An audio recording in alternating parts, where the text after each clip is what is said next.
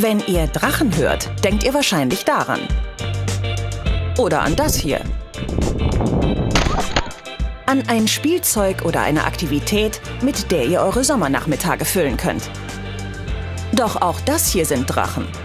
Allerdings nicht für Kinder.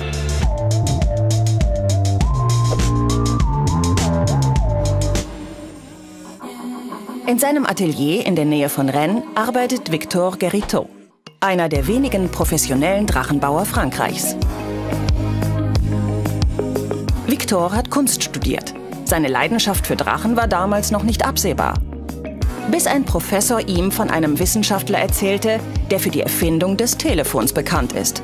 Alexander Graham Bell. Er war der Erste, der den Tetraeder verwendet hat, weil er erkannte, dass diese Form für das Fliegen ein interessantes Verhältnis von Gewicht und Größe hat. Er hat mit Tetraedern experimentiert und wollte sogar Menschen darin transportieren. Victor hat nicht vor, in seinen Drachen Passagiere zu befördern. Dennoch nutzt er 115 Jahre nach Bells Erfindung das gleiche Prinzip des Tetraeders, um seine Kreationen fliegen zu lassen. Und das sieht dann so aus.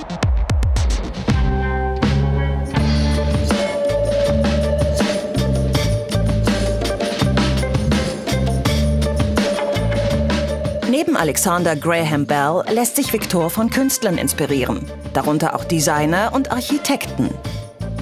Wie Charles und Ray Eames, die übrigens ein Spiel namens The Toy entwickelt haben, mit dem man bunte Drachen bauen kann.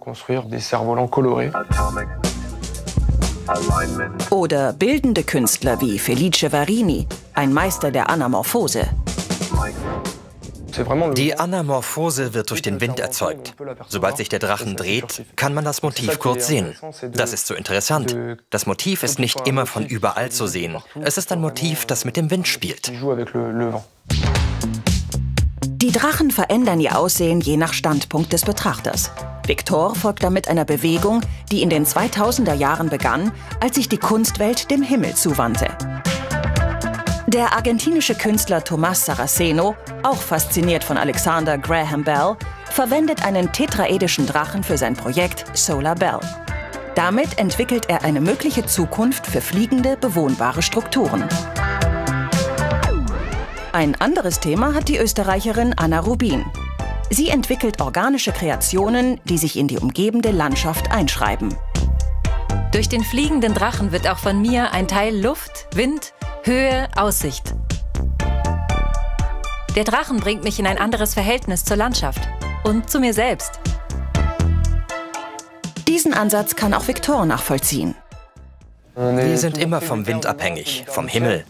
Also entwickle ich auch die Drachen und Farben nach Vorbild eines Himmels mit Wolken. Es ist wie ein Bild, das nie fertiggestellt wird. Und wenn der Himmel voller Wolken ist, so wie heute, welchen Drachen nimmt man dann? Bei diesem Himmel lasse ich vor allem weiße Drachen mit Mustern fliegen, die beim Auftauchen der Sonne erscheinen und dann wieder verschwinden. Bei den tetraedrischen Drachen gibt es drei Ebenen. Es ist schön, diese Perspektive zu haben, mit den verschiedenen Ebenen und Farben.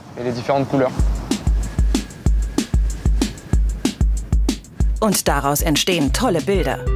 Der Amerikaner Jacob Hashimoto schafft Werke aus hunderten winziger Drachen aus Bambus und Papier, die nicht in die Luft, sondern die Wände hochgehen. Und ein Kinderspielzeug sind sie selbstverständlich auch nicht.